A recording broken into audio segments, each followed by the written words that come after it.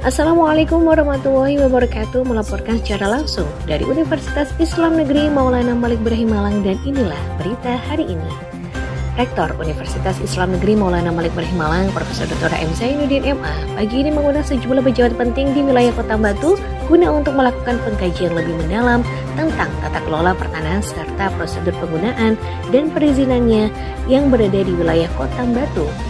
Hari ini Kamis 9 November 2023. Kegiatan rapat konsultasi atau koordinasi rencana pengadaan tanah kampus 3 Win Maulana Malik Malang itu dihadiri oleh Kejaksaan Kota Batu yaitu Reynol SHMH Kepala Seksi Perdata dan Tata Usaha Negara Indria Kori Safitri SH, Kepala Subseksi Perdata dan Tata Usaha Negara Kejaksaan Negeri Batu, Devi Praha Bestari SHM HUM, Kepala Subseksi Pertimbangan Hukum Kejaksaan Negeri Batu, Hidayah SH MKN Jaksa Pengacara Negara, Zainuddin SH, Staf PP NPN, dan juga Cornelia Fatika Sari Kumuludin SH, Staf PP NPN.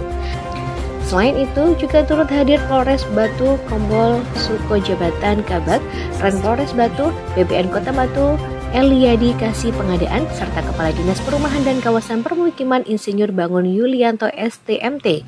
Mengawali kegiatan penting ini, Profesor Zainuddin mengarahkan bahwa tujuan utama diselenggarakan rapat koordinasi rencana pengadaan tanah di kampus 3 ini agar ke depan UIN Maulana Malik Ibrahim Malang dalam proses pengembangan infrastruktur di kampus 3 tidak ada masalah. Saya ingin semua dikoordinasikan dengan baik seperti ini hingga di kemudian hari tidak terjadi masalah dan sesuai prosedur perundang-undangan yang berlaku harapnya. Sehingga UIN Malang perlu petunjuk dan pengarahan dari masing-masing dinas yang terkait agar proses pengembangan kampus UIN di Batu ini bisa berjalan dengan lancar, aman dan secara aturan benar. Sehingga masukan dari pejabat yang kompeten sangat berarti sekali bagi UIN Maliki Malang tuturnya. Orang nomor wahid ini di UIN Maulana Malik Ibrahim Malang juga menjelaskan bahwa pengadaan tanah ini tidak lain untuk kepentingan umum dengan tujuan untuk meningkatkan kesejahteraan dan kemakmuran bangsa, negara, dan masyarakat dengan tetap menjamin kepentingan hukum pihak yang berhak dengan penggantian yang layak dan adil.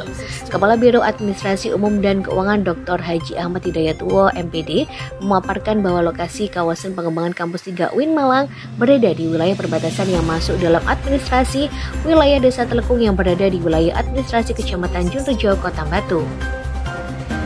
Data kebutuhan lahan mencakup area gedung perkuliahan Fakultas Kedokteran, Fakultas Teknik, dan juga gedung data center. Saat ini lahan yang sudah dimiliki oleh UIN Malang seluas 737.119 meter persegi atau 73 hektar.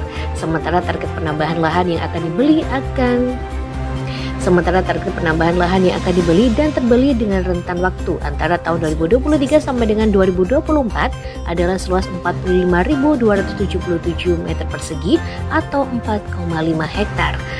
Lokasi tanah yang hendak dibeli oleh UIN Malang berada di Jalan Logari, Desa atau Kelurahan Telekung, Kecamatan Jorejo, Kota Batu, paparnya. Ini melaporkan secara langsung dari UIN Malang.